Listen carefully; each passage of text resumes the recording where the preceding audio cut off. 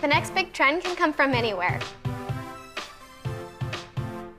You just have to know how to spot it. And this girl has it. You know that feeling you get when you wake up and don't know what to wear? Yeah, I don't have that.